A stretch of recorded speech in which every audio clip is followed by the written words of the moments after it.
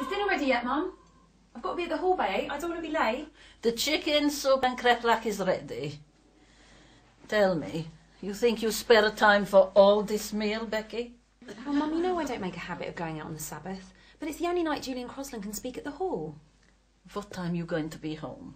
You not stay out late now. Young women on their own, out late at night, big danger.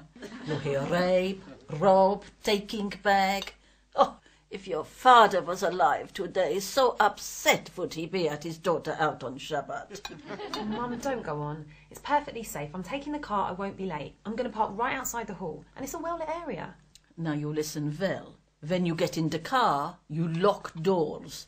All doors. You understand? Yes, Mum, I will, Mum. I worry about you. I want you to meet a nice Jewish boy. You're not getting any younger, and me getting older. I would like you a grandchild to give me before I die. Don't worry about that, Mum. I'm sure you're going to be around long enough to babysit for my brood. Just how many children you're going to have to bring into this world by yourself as yours? Oh, I don't know. Four or five, God willing. Or yes, okay. So long you being married first. Tell me, Becky, why you not see that Jaime no more? So sudden you stop seeing that nice Yiddish boy.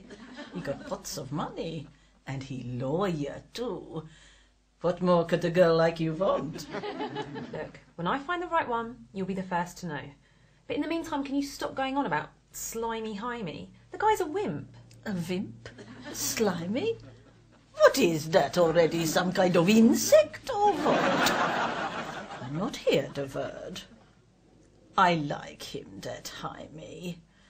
He go to shul every Sabbath with his mother.